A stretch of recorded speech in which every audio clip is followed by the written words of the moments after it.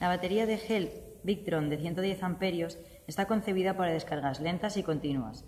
Su tecnología de gel consigue que esta batería esté libre de mantenimiento gracias a que el electrolito se encuentra gelificado en lugar de empapado en una membrana o en estado líquido como las gamas inferiores que serían AGM y plomo ácido, de menor durabilidad ambas.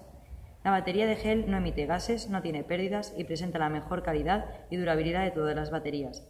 Esta batería permite una profundidad de descarga del 70%, muy superior al resto, y tiene 800 ciclos de vida aproximadamente, entendiendo por ciclo de vida una carga y descarga completa.